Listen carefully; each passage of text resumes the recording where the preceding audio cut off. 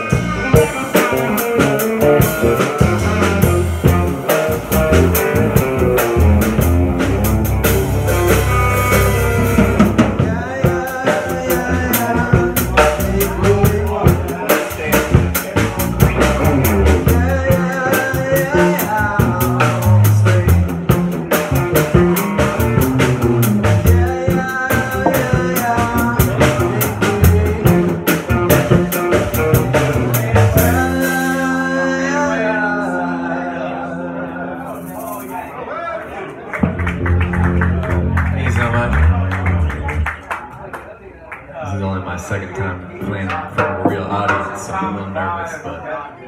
You're great. Hey.